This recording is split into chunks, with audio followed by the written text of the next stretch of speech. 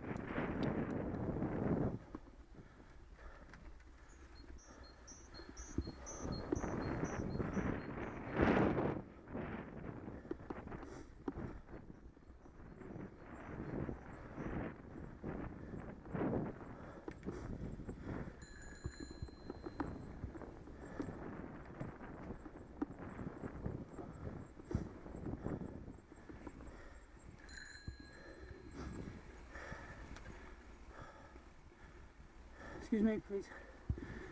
Thanks very much.